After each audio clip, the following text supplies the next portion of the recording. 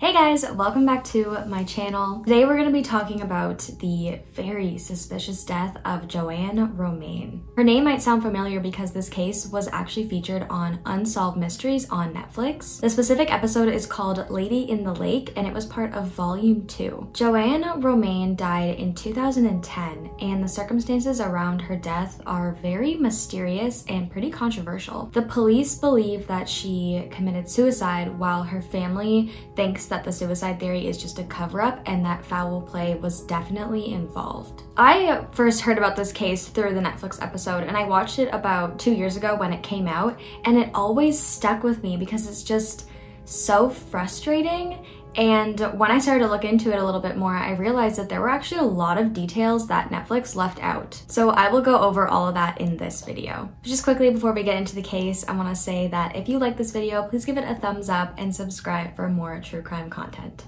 So JoAnn Romain, born JoAnn Matouk, was 55 years old when she passed away, and she was living in a suburb of Detroit, Michigan called Grosse Pointe Woods, which is actually where she lived her entire life. And Grosse Pointe Woods is a very wealthy area with a very close-knit community where everybody knows everybody. And JoAnn absolutely loved it there. It has a lot of families that have lived there for generations, and it's said that few people move away from this area. In 1980, JoAnn married a man named David Romain, and they had three children together. Michelle, then Kellie, and then Michael was the youngest. JoAnn was described as the best mom with the warmest heart. She was a really loving and supportive mom and always put her kids first. She could be overprotective at times, but that was only because she really cared about her family and she wanted to be as involved in their lives as she could be. She was also said to be a really good homemaker and she loved to cook and host guests and she was always having her kids' friends over. Apparently their house was the house to be at because JoAnn was such a good host and this made her really happy because she loved to see her kids with their friends. JoAnn herself was a very social person and had a lot of friends herself. She was always going out with her friends for lunch, drinks, coffee, and she just always had something going on with them. JoAnn worked at a small boutique and was really well liked by her coworkers. And overall, she was just a really well liked person in her social circle and was pretty well known in the community. JoAnn was really close with her extended family as well, like including her siblings and cousins. She had four siblings, but was especially close with her brother John Matouk. John said JoAnn had a great soul and was his favorite sister, and he said that she was just the closest person to him. And then in 1994, JoAnn's mother passed away, and this caused a lot of turmoil within the family. And this was because there were a lot of disputes over her estate and the inheritance, which was pretty substantial. Her mother's inheritance was to be split five equal ways among the siblings, but according to JoAnn, that's not how it happened, and the money was not dispersed fairly. So JoAnn and John ended up suing the other three siblings over this inheritance, and they actually won. But there was just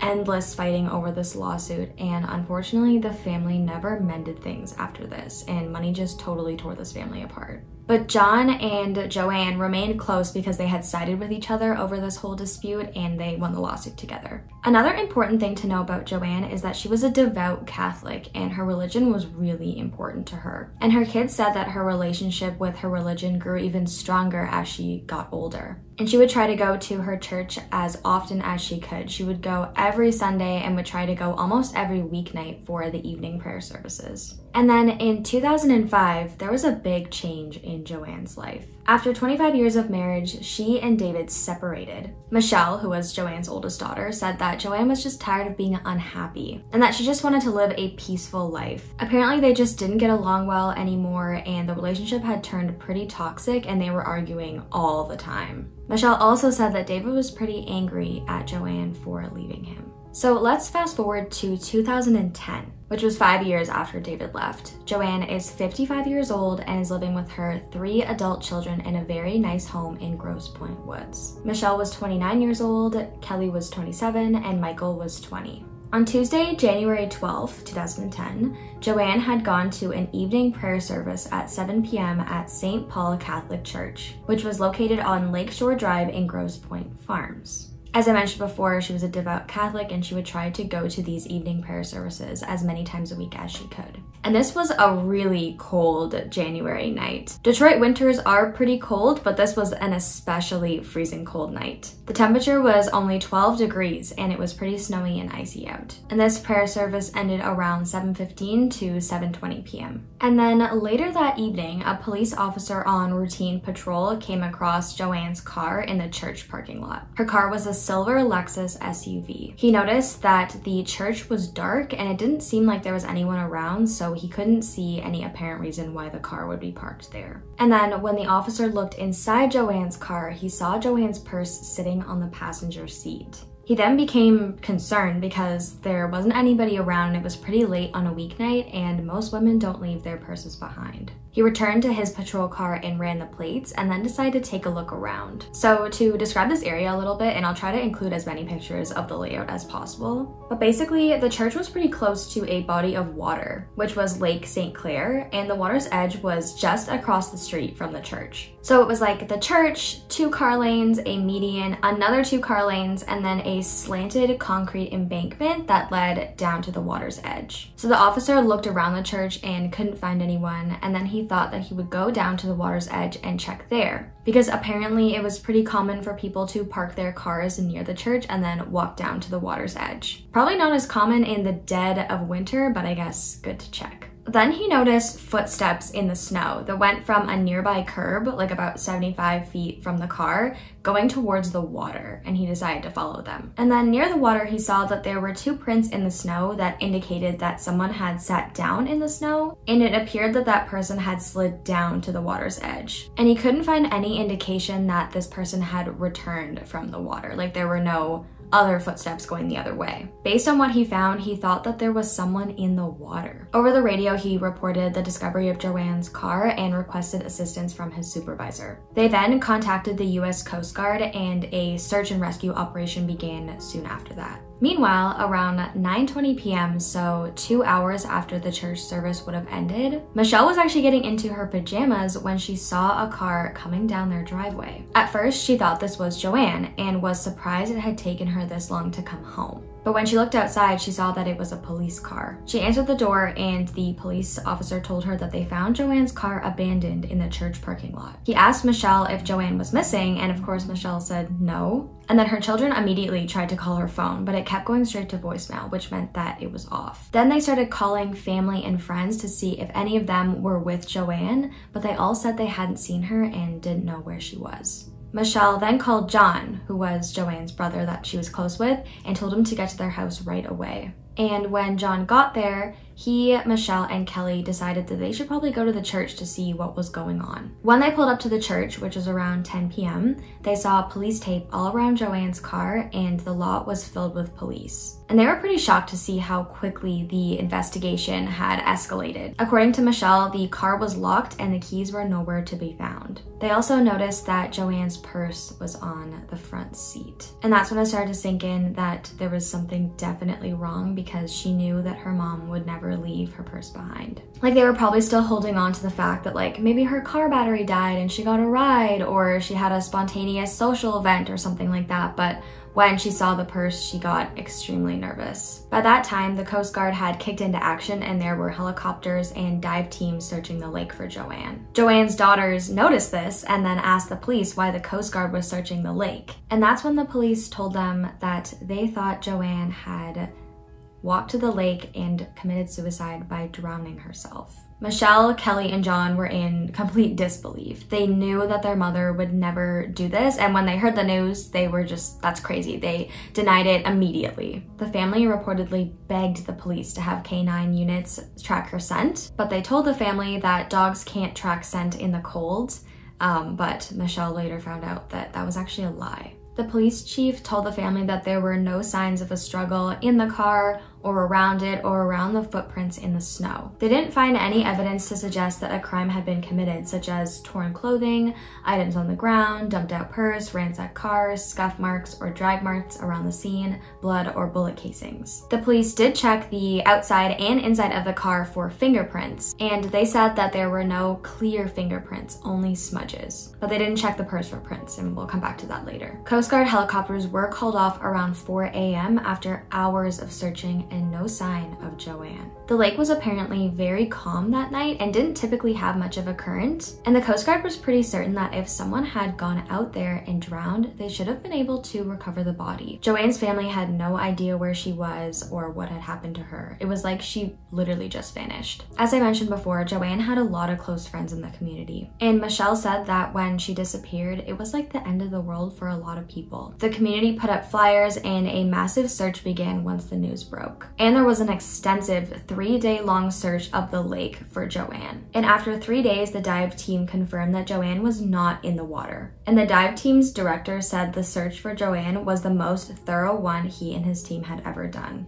And on the night that JoAnn disappeared, she was wearing a black blouse, black pants, a black coat, and black heeled boots. And because she was wearing all black, Michelle believed that they should have been able to clearly see her in the water if she was in there. And yes, JoAnn was wearing four inch high heeled boots that night. So, just to recap the police's theory, they believe that JoAnn left the church in freezing cold weather in the dead of night, crossed the initial four lanes of traffic to the embankment, and then while wearing high heeled boots, walked down the snowy, icy embankment, and then slid five feet down the embankment to the freezing cold water to take her own life. There are so many issues with this theory. First of all, JoAnn's family knew that she would never do this. She didn't have a history of depression or any mental illness. She wasn't on any medication and she showed no signs that she was planning to do this. She just got out of a toxic marriage and was finally happy and she would never leave her kids. And she was pretty religious, right? Like, suicide is against all beliefs in the Catholic religion. And there's just no way that she would do this at all, but especially not in front of her church. Like, why would she do that? John says that JoAnn is actually the one person he knows who would never take their own life and he says that he knows that she would not walk away from her children. In the Netflix episode, they interviewed one of JoAnn's friends that had had a phone call with her three days before her disappearance, and she said that JoAnn seemed very upbeat when she spoke to her. Apparently, they had a good laugh about something that happened in her friend's life, and when they hung up, they said their I love yous and that they would see each other soon. Her friend said that JoAnn showed no signs of depression throughout their entire friendship and that they had been friends since high school. She said there was no way that JoAnn would leave her children and that they were her everything in her whole life. When the police told the family their theory, they immediately started thinking about how it, it, it literally makes no sense why someone would do it this way. Because one, it was freezing cold that night. And two, the lake was actually partially frozen. And also the lake was really shallow, like only two feet deep. So JoAnn would have had to wade through the water about a hundred yards to get to where it was actually deep enough to drown. And since she was wearing heels, it would have been really difficult to even get down to the water. Like the embankment was totally covered in ice and snow and it was pretty steep. And in the shallow section of the lake, the bottom is entirely rocks. So it would have been really hard to walk through all those rocks to get to the deeper area of the lake. And not to mention that drowning suicides are actually really rare and just hard to do. So it just seems like this would be hard to pull off for JoAnn and really anybody. And what's so crazy is there wasn't even a hole in the ice. Like there was no sign that the ice had been broken where the footsteps were. There were some areas of the lake that weren't frozen because the lake was only partially frozen, but where the actual footsteps were and where she supposedly entered the water, the ice was not broken. So just how can you explain that in this suicide theory? Another crucial point against this theory is that Kellie said she doesn't believe JoAnn would go anywhere near the water where she could possibly slip and fall into it. She says that JoAnn was a very cautious person. In fact, a lot of people said she was quite cautious. Apparently, she was just wary about everything and was actually afraid of water and the dark. So there's just so many reasons to doubt this suicide theory. And at this point, the family was sure that someone had taken JoAnn that night. But despite all these inconsistencies, and the family pointed all of these things out to police, they stopped investigating and just ruled her death a suicide without finding her body. Within an hour of finding her car, the police had already decided on this theory and wouldn't deviate from it or investigate further. Of course, it makes sense to search the lake because I guess the evidence did point to that somebody might be in there, but to stop there and not investigate further literally makes no sense. They didn't even consider any other possibilities and right off the bat were telling the family that it was a suicide, which it's just insane and extremely suspicious. So it's either just really shitty police work or a cover up because the family and many Netflix viewers cannot fathom why the police would see that evidence as a suicide. It just seems really weird how they stumbled upon her car and then launched this huge investigation so quickly. And within a matter of days had already closed the case because they saw some footsteps near a lake.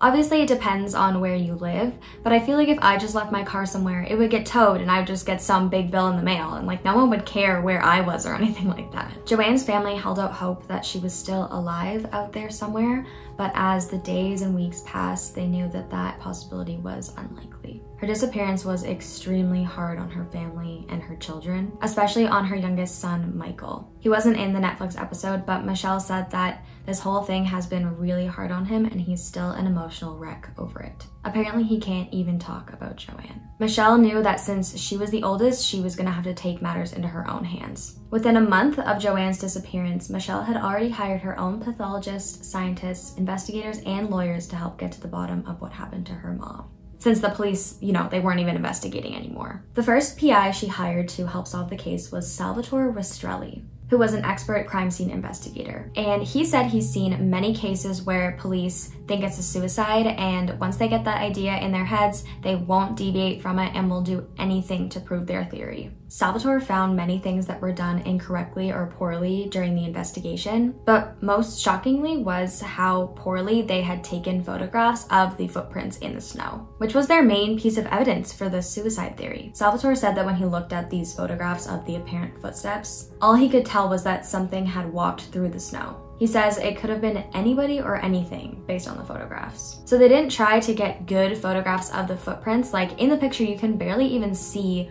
what it's showing. Like the flash is so bright. They also didn't try to prove that it was actually JoAnn that made the footsteps.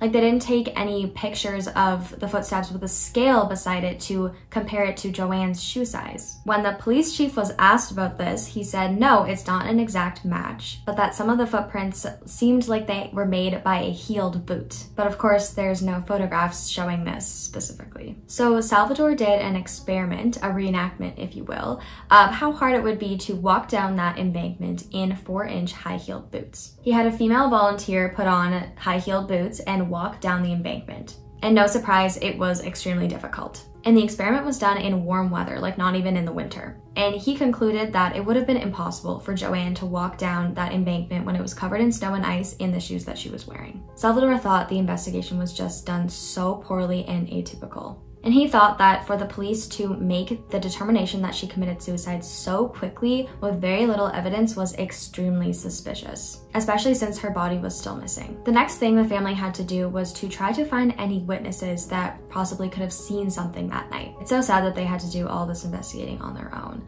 But yeah, they tried to retrace JoAnn's steps from that night. The Romain family was actually in court on the day of JoAnn's disappearance because they were plaintiffs in a lawsuit involving black mold in their home. Michelle last saw JoAnn when they left the courthouse that afternoon. JoAnn left with Michael and Michelle left with David. At 6 p.m., JoAnn dropped Michael off at their home and told him that she was gonna go fill up her car with gas for the next morning and that she would be back right away. At 6.25 p.m., she got gas at a local gas station and spoke with one of the employees while he pumped her gas. They were familiar with each other as she was a customer for a long time, and he says on that night she seemed very cheerful and nothing was out of the ordinary. They had their normal conversations about their families and she talked about her children and then she left. After JoAnn got gas, and as far as we know, she made the split decision to go to the 7 p.m. prayer service at her church. This was apparently very common, like she would just try to go whenever she could. And there were between 10 and 15 people at this prayer service, so it was a pretty small group. A witness confirmed that JoAnn was at the prayer service that night. The witness was sitting in the front by the altar while JoAnn was sitting in the back.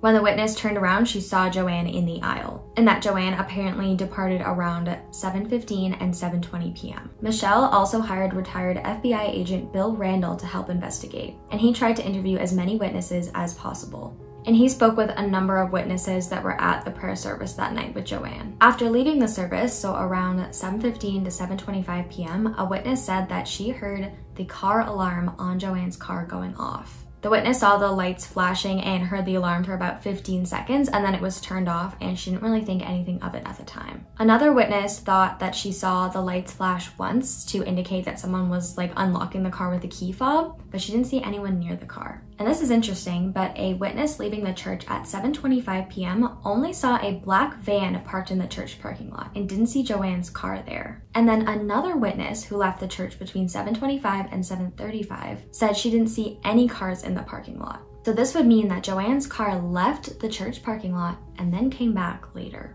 Another witness said that she saw a man running by the water's edge around 7.50 p.m. and that he had a scarf around his neck, but he wasn't wearing a coat, which is weird, right? Because it was a freezing cold night. And police actually found a scarf near the crime scene and they weren't able to track down its owner. And then they didn't even keep it as evidence or anything. They just donated it to Goodwill. Bill Randall also pulled JoAnn's phone records and found something pretty shocking. The week before her disappearance, JoAnn had actually left a voicemail at a security company. She was trying to contact an investigator because she believed she was being followed by a person or persons unknown. And she was really concerned about this. In fact, JoAnn had actually told her children that she thought she was being followed. And when her children asked her more about this, like who she thought it was, all she said was that it was somebody different every day. And she believed that these people were trying to learn her routine. Michelle says that in the weeks leading up to her disappearance, JoAnn seemed a lot more nervous than usual. Remember, she was a very cautious person typically, but apparently this was even more than usual. John also said that JoAnn was acting very nervous, scared, and troubled,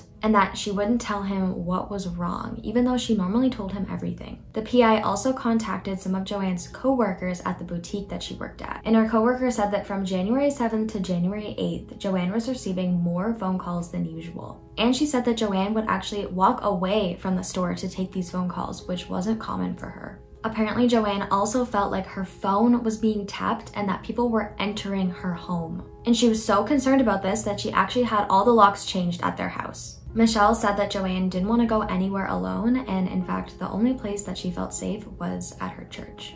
So on Saturday, March 20th, 2010, so 70 days after JoAnn's disappearance, the family's worst fears had come true when her body was found by two fishermen on Boblo Island. This island is located in the Detroit's River Livingston Channel in Amherstburg, Ontario. It was about 35 miles from where she allegedly entered the water. For Michelle, losing JoAnn was like she had lost everything.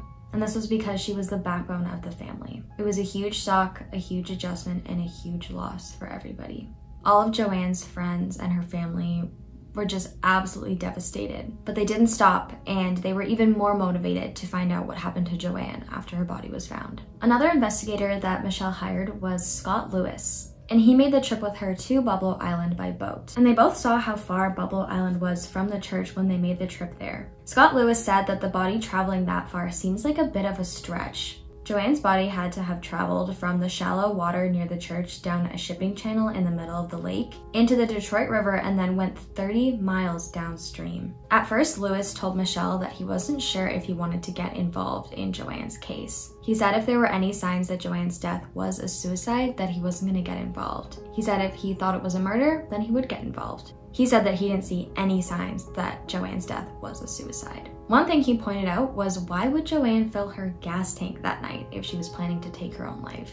He also doesn't think it's at all possible that her body traveled that far without the helicopters finding her first. In fact, none of the investigators Michelle hired thought that the body could travel from the church all the way to Boblo Island, like it was just too far. To Michelle and her investigators, the only other possibility is that JoAnn didn't enter the water where police say she did, and that a more likely scenario is that she was dumped somewhere down the river closer to Boblo Island. So when JoAnn's body was found, it was in an advanced state of decomposition. As a result, forensic pathologists were unable to make a definitive determination as to the time of death, but it was likely that her body was in the river for some time as algae and zebra mussels were stuck on her legs. A couple different coroners performed pathology on the body and they all had similar conclusions. They all found that JoAnn's cause of death was drowning. However, they all said it was certainly possible that JoAnn could have been dead before entering the water. Two forensic experts said that she actually died of dry drowning, which means there was no water found in her lungs. And this is interesting because it shows that her breathing was compromised before entering the water. But because the body was in such an advanced state of decomposition, they weren't able to determine if it was a homicide. So her matter of death was ruled undetermined, meaning they couldn't conclude if it was a homicide, suicide, or an accident. However, they did find two bruises on the upper portion of her left arm, and in the coroner's opinion, these bruises happened before her death. He says that these bruises could be coincidental, but they could also be the result of an assault. Which brings us to the next interesting point. They showed this in the Netflix episode, but Michelle still had JoAnn's designer purse, the one that was found in the car, and it was purchased six weeks before her disappearance. And there's literally a rip in it. I hope I can find good pictures of this purse, but just to describe it a little bit in case I can't, the purse has ruffles all along the side, and one of the ruffles was totally ripped out and was just like dangling there. Michelle says that this rip was definitely not there and she had never seen it before. And JoAnn was a fancy lady, like she wasn't walking around with a ripped designer purse. Michelle also said that JoAnn always carried her purse on her left shoulder, which is where the bruises were found. So to Michelle and her investigators, they believed even more that she was grabbed that night. However, the police chief said that this was just wear and tear on the purse. And because there was no damage to the strap of the purse, that it shows no sign of a struggle. And they never fingerprinted the purse or tested it for DNA either.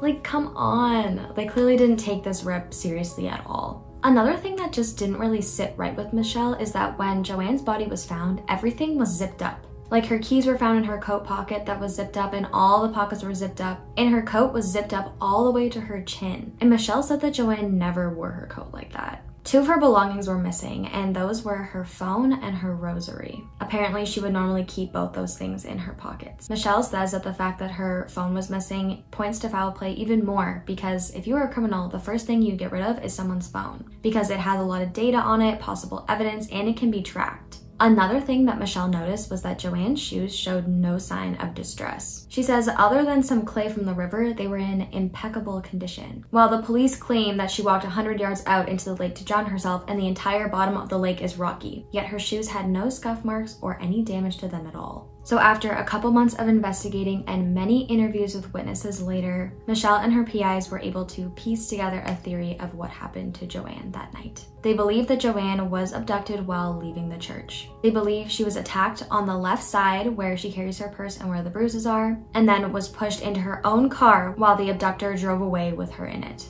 And then somewhere along the Detroit River, her abductor or abductors made her go unconscious somehow and then put her body in the water and drove back to the church and made the footsteps in the snow.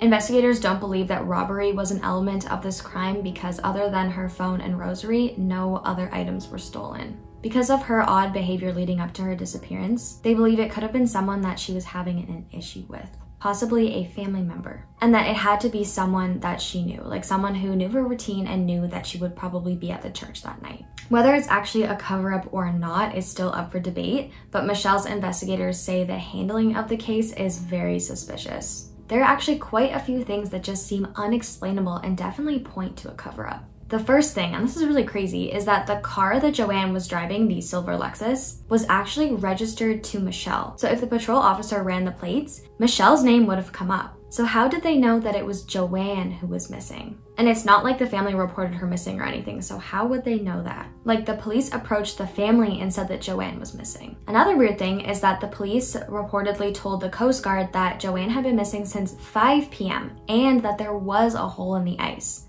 which both of those statements are untrue. And there's also a lot of uncertainty around how the police got a hold of JoAnn's spare car keys. Like they did have a, set of spare car keys to open the car and do forensic testing on it, but it's not clear how they obtained these keys. A police officer says that the day after JoAnn disappeared, he went to their house and someone gave him the keys, but he can't remember who it was. And get this, Michelle claims that a month before JoAnn's disappearance, JoAnn told her that the spare car keys went missing which is really suspicious. Another weird thing is that the police apparently dusted the outside and inside of the car for fingerprints. And when asked about this, the police said that they didn't find any usable prints and that the only prints that they found belonged to JoAnn and her children. Even though none of those prints were actually on file, like they never fingerprinted them. So how would they know that the only prints found belonged to them? And this just really hits it home for me But to prove that JoAnn's car shouldn't have been suspicious to police, her investigators left a car overnight in the church parking lot.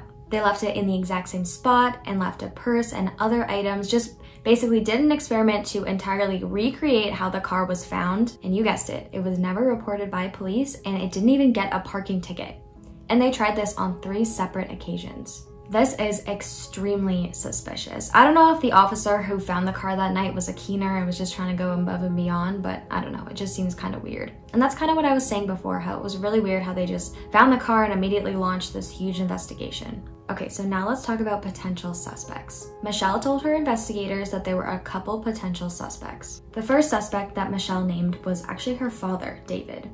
According to Michelle, the reason they separated was because JoAnn was fed up with their toxic relationship and just wanted to be happy. And before her disappearance, JoAnn was actually going to file for divorce. Like they had been separated for five years, but it seems like JoAnn was ready to make it official and actually file for divorce. And as I mentioned before, according to Michelle, David was pretty angry with JoAnn for leaving him. Michelle was not sure if he was actually involved or if he just hired someone to take care of JoAnn for him. JoAnn's lawyer, who was representing her in her divorce with David, said that in the week before her disappearance, she acted pretty strange and that she seemed distraught and paranoid. JoAnn told her lawyer that David was really controlling, and another employee at the law firm said that JoAnn feared trouble from her husband. Michelle's PI contacted David for an interview, but he declined it and he wasn't in the Netflix episode. But apparently, they investigated him pretty thoroughly and didn't find anything that would indicate that he was involved in JoAnn's death. David had previously told police that after court that day, he had dinner with Michelle and just went home. And apparently, his bank statements and cell phone records go along with this, and he also passed a polygraph test.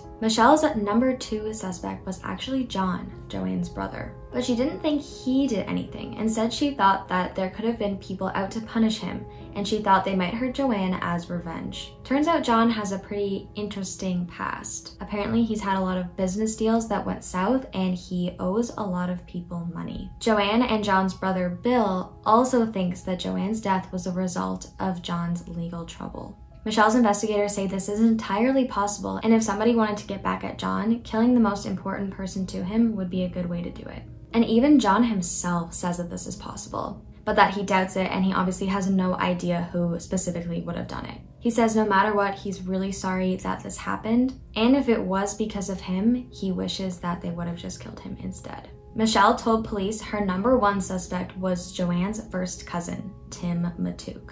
And get this, he was a Harper Woods police officer at the time of JoAnn's death. It's a little hard to tell from the map and I'm not like familiar with Detroit or anything, but it seems like Harper Woods is like the next division over from Grosse Pointe Woods. Michelle says that she and John were actually estranged, and other than one phone call shortly before her disappearance, they hadn't spoken in years. Michelle says that the family used to be really close, and then in 1994, when JoAnn's mother died, it just created a major divide between family members. And there was all that fighting over the inheritance, and there were many falling outs between family members. According to Michelle, a few weeks before JoAnn disappeared, Tim called JoAnn and the two of them got into some kind of argument over the phone. Michelle doesn't know exactly what was said on this phone call, but she heard her mother's end of it. And she said something like, How did you get my number? Never call me again. She could hear him yelling also on the other end, but she couldn't hear what he said. JoAnn also said, I never said you were the root of everyone's problems. You just need to get your nose out of everyone's business. Leave me and my family alone. Never call me again. After this call, Michelle noticed that JoAnn's face went entirely white. And she told Michelle that she might be in danger and that if anything happens to me,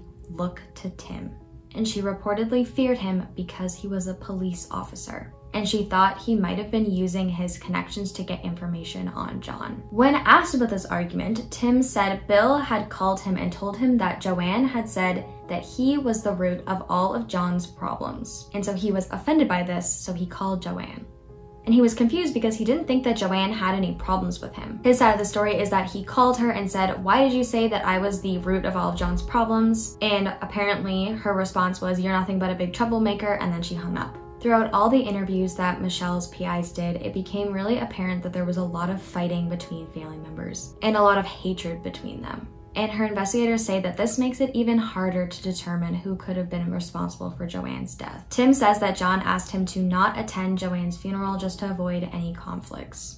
So he didn't go. It seemed like there was especially bad blood between John and Tim. Michelle remembers that they were always butting heads and Tim was always sticking his nose in John's business. She says it's always been ugly between the two of them. And because JoAnn and John were very close and she acted as kind of a mentor for John, it seems like she got mixed up in their feud as well. Michelle says that she keeps rehashing that conversation she had with JoAnn about Tim, and that even though she doesn't know exactly what was said on that phone call, her mother feared Tim, and now she's gone. And it wasn't just Michelle who suspected Tim. JoAnn's lawyer also came forward and told the PI to look into Tim because JoAnn had told her, Tim said to me, if someone wanted to get rid of you, they could do it and you would never be found. And one of JoAnn's friends, who was actually a former FBI agent, also told the PI to look into Tim. Michelle also learned that Tim apparently gave a tip to police that JoAnn was paranoid and suicidal, which is just ridiculous. And it just makes it even more believable that this was some kind of cover up because Tim had connections with the police officers. Tim obviously denies having anything to do with JoAnn's death. He said he never participated in the investigation and he doesn't know any of the officers that were running the investigation. He claims that he wasn't in the area at the time of JoAnn's death and that he was working with other officers at the time. Michelle's PIs looked into Tim extensively, but they weren't able to find anything that would suggest that he was involved in her death. In June 2014, JoAnn's family filed a $100 million civil lawsuit against the city of Grosse Pointe Farms and additional defendants for conspiracy to cover up JoAnn's murder. They alleged that the Grosse Pointe Farms and Grosse Pointe Woods police departments and several officers were protecting one of their own, presumably Tim, from being prosecuted for murder. They claim that the police falsified reports and only focused the investigation on suicide. And for this lawsuit, the family's lawyer uncovered a bunch of witness statements that were either straight up ignored or changed by police. One of those witnesses was named Paul Hawk, and he claims he saw JoAnn with two men that night and the police didn't take his statement seriously at all. He claims he was driving near the church when he saw a woman matching her description sitting on the lake's break wall. He noticed two cars parked illegally on the lake side of the road with two men standing near them. He was worried that the woman was in danger because he said she seemed a little slumped over. As Paul slowed down and approached the vehicles, he noticed that one of them seemed to be a municipal one, and that the other vehicle was a silver Lexus SUV. One of the men acted as if he had a gun in his pocket and motioned for Paul to keep driving, but Paul rolled down his window and asked what was going on, and apparently one of the men said to get the hell out of here. A few days later, Paul heard about JoAnn's disappearance on the news, so he went right to the Grosse Pointe Farms Police Department to report what he saw.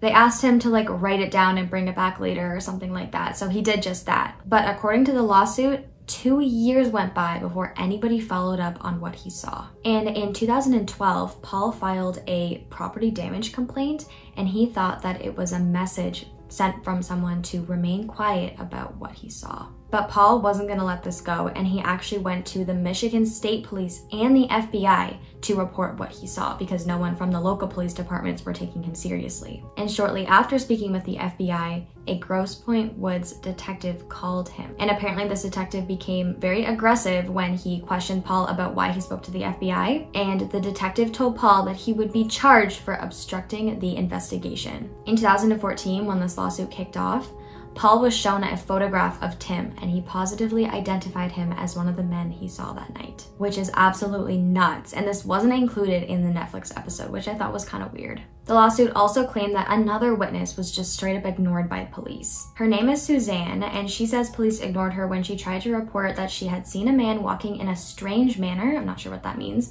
on Lakeshore Road near the church at approximately 8.25 p.m. that night. Apparently he was dressed in non-athletic apparel, so it wasn't like he was, you know, going for a run or anything. And when she last saw him, he was crossing the road towards the church. During the investigation, police claimed that a witness came forward and said that she saw JoAnn walking into the church, and apparently JoAnn's body language indicated that she was depressed.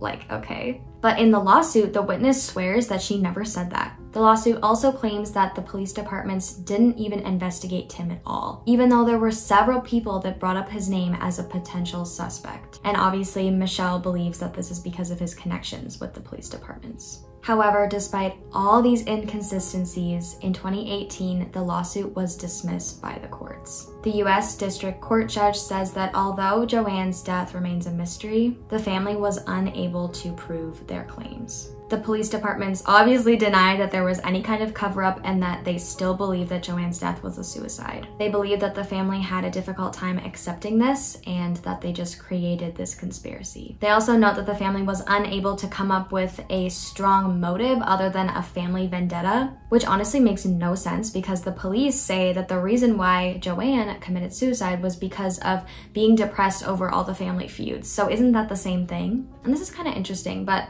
the police apparently didn't deem Paul's witness statement as credible because he changed his story a couple of times. Apparently, he said he first saw the two men with the woman in the afternoon, but then at a later date, he said it was actually at dusk, and then later he said it was around 8 p.m. So these inconsistencies with the timing made police deem him not credible which might be why Netflix didn't include that in the episode. Police also explained that they felt like investigating Tim would create a conflict of interest, so they asked the Michigan State Police to investigate him instead. But no further investigation was done on Tim, so I'm not really sure what happened there. So what happened after the episode aired in 2020 was that Tim got a lot of backlash from the public and lots of news articles about his potential involvement in her death. So he actually did an interview with one of Unsolved Mysteries co-creators. In the interview, he once again denied being involved in JoAnn's death. He says that there's no evidence and no motive against him.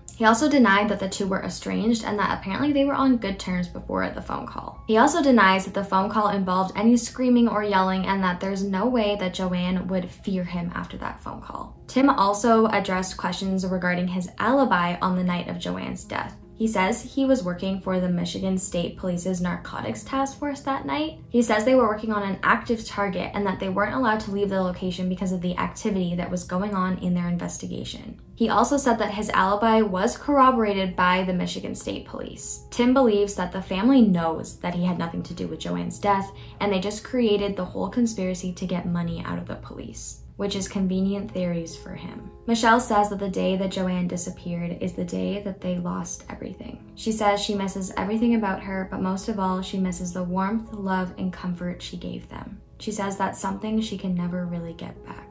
So where the case stands today is the police said they found insufficient evidence to suggest that JoAnn was murdered or any type of crime was committed. They believe her death was a suicide, however, they were not able to obtain an official conclusion on her death.